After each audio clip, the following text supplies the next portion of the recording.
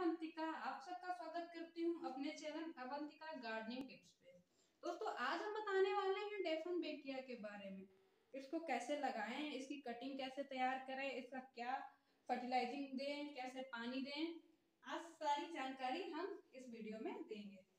दोस्तों, देखिए, ये हमारा डेफन का पौधा है। देखिए, कितना सुंदर, कितना हेल्दी ये देखिए, कितने बड़े बड़े पत्तों का साइज़ है। ये देखिए, दोस्तों। ये देखिए। दोस्तों देखिए हमारे पौधे में कितनी अच्छी साइडिंग है। एक एक पत्ते पे कितनी अच्छी साइडिंग है। डेफन डेफन को दोस्तों डम केन के नाम से भी जाना जाता है। देखिए दोस्तों, एक ये हमारा डेफन का पौधा है। डेफन डस्ट ये देखिए। तो दोस्तों, आज हम बताने वाले हैं कि आप इसे कैसे रिपोर्ट करें, कैसे मिट्टी तैयार करें।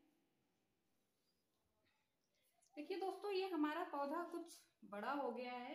इसके पौधे के हिसाब से ये पॉट छोटा है, क्योंकि इसकी जड़ों को फैलने के लिए स्पेस कम मिल रहा है।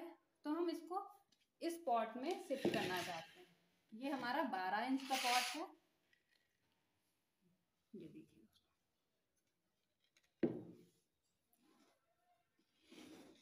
चलिए दोस्तों, फिर हम बताते हैं। देखिए दोस्तों आपको बताते हैं हम कि इसमें क्या दिक्कतें आती हैं। दोस्तों डेफन को ज़्यादा पानी देने से हमारे पौधे में इस तरीके की समस्याएँ आती हैं। देखिए दोस्तों, ऐसे पत्ते बर्न होने लगते हैं, पत्तों का साइज़ कम हो जाता है, ये देखिए दोस्तों।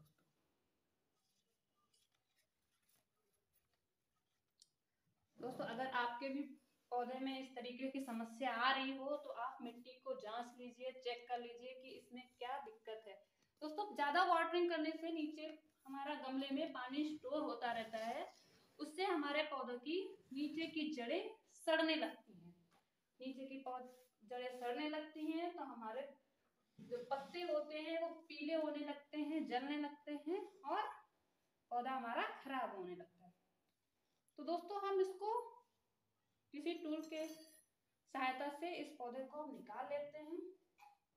बहुत आसानी से निकालेंगे, जिससे हमें, हमारे पौधे को किसी प्रकार का नुकसान ना हो।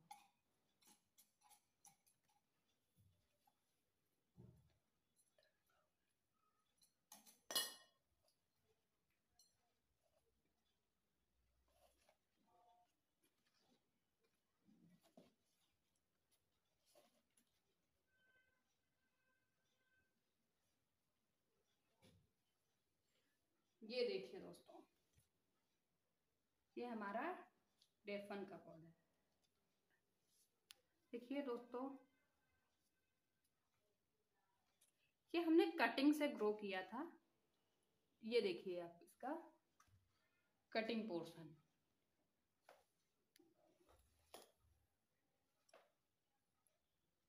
यह हमारा पौधा छह से सात महीने पुराना है।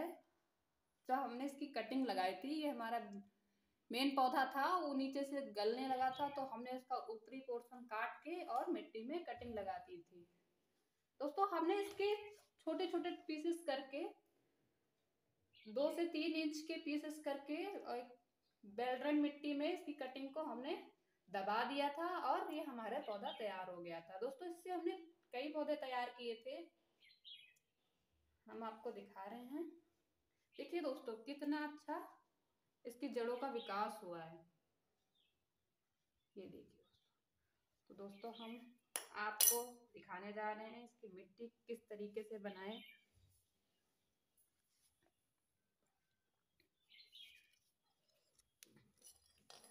दोस्तों, ये हम पुरानी मिट्टी को नहीं यूज़ करेंगे, हम अपनी नई मिट्टी फिर से बनाएँगे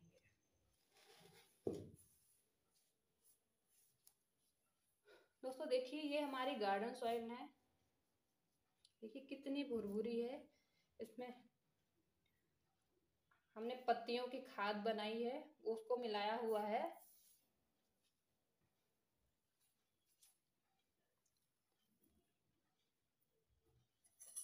दोस्तों, इस पौधे को बहुत ज़्यादा केयर नहीं चाहिए होती है। इसको महीने में एक बार गोबर की खाद देते रहिए। ये हमारा पौधा अपने आप ग्रो करता रहेगा।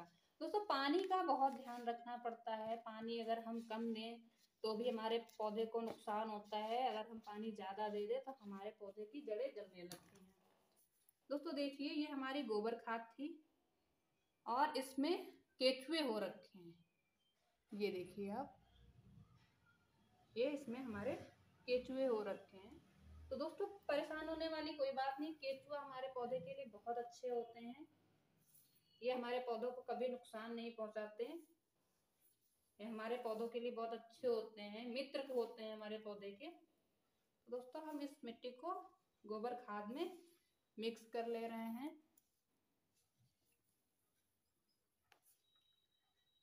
अच्छे से हम इसको मिट्टी को और खाद को बराबर से मिला देंगे। दोस्तों तो फिर हम इसमें मिट्टी भरने जा रहे हैं। देखिए दोस्तों, ये हमारा ड्रेनेज होल है गमले का। ये हमारा ड्रेनेज होल है। तो दोस्तों, इस पे हम इस प्रकार के छोटे छोटे पत्थर के टुकड़े रख देंगे, जिससे हमारे गमलों की मिट्टी बाहर ना निकले और हमारे पौधों का पानी ड्रेन होता रहे। तो इस तरीके से हम इस होल को अच्छे से पत्थरों से कवर कर देंगे। दोस्तों हम इसमें मिट्टी भरते हैं अपने पौधे को लगाने के लिए। देखिए दोस्तों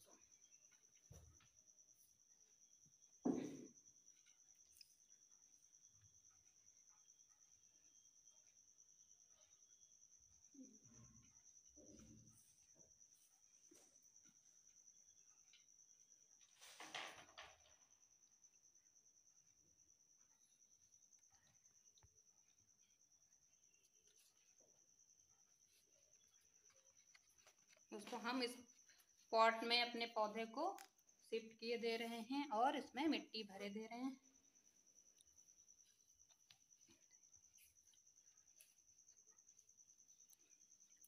दोस्तों, डेक्सन के पौधे को ज़्यादा धूप नहीं पसंद होती है। गर्मी का पौधा होने के बावजूद भी इसे ज़्यादा धूप नहीं पसंद होती है। इसे नॉर्मल मौसम पसंद होता है। इसको हम हमेशा इंडोर रखते हैं। इंडोर का मतलब ये नहीं है दोस्तों कि एक बंद कमरे में ले जाके इसे आप रख दो तो ये पौधा नहीं चलेगा। क्योंकि कोई भी पौधा फुल इंडोर नहीं होता है, उसको आउटडोर रखना ही पड़ता है। उसको सूरज की रोशनी चाहिए होती है। तो दोस्तों, इसे हम ऐसी जगह रखें जहाँ सूरज की रोशनी अच्छे से मिलती रहे। अगर आप आउटडोर भी रख रहे हैं, अगर आप रखना चाहते हैं आउटडोर पौधा तो आप रख सकते हैं। लेकिन दोस्तों से दोपहर की धूप नहीं मिल पड़नी चाहिए। इस पौधे के ऊपर दोपहर की धूप पड़ेगी तो ऊपर के पत्ते जो हैं वो जलने लगते हैं, गल, जल के सड़के टूट के पौधा हमारा खराब होने लगता है धीरे धीरे हमारा पौधा मर जाता है। तो दोस्तों, इसको हम नॉर्मल मौसम में रखते हैं, जहाँ हमारे यहाँ अच्छी सनलाइट मिलती हो। दोस्तों, हमने इसको इसमें लगा दिया है। अच्छे से मिट्टी को फिल कर दिया। हम ज़्यादा से मिट्टी को नहीं दबाएँगे। ज़्यादा मिट्टी दबाने से हमारे पौधे की जड़ें टूट जाएँगी और हमारा पौधा खराब भी हो सकता है। दोस्तों, हम इसको अच्छे से मिट्टी भर देंगे। दोस्तों, पौधे को लगाते समय आप मिट्टी का विशेष ध्यान रखिए। मिट्टी बहुत ज़्यादा दलदली नहीं होनी चाहिए। चिकनी मिट्टी होने से पानी रुक जाता है और हमारे पानी रुकने से आपको पता है कि पेड़ खराब हो जाता है। ये पोर्शन गलने लगता है, ये पोर्शन गलता है तो मानो ऊपर का पौधा खराब ही हो जाता है। हमारा पौधा इसी पोर्शन से टिका होता है तो इस पोर्शन की बहुत पानी इसमें डाले दे रहे हैं। इसको हम पानी से भर देंगे पहले दिन। और फिर इसको हम अपनी बालकनी में शिफ्ट कर देंगे। ऐसी जगह रखेंगे जहाँ इस पर सीधी सनलाइट ना पड़ती हो।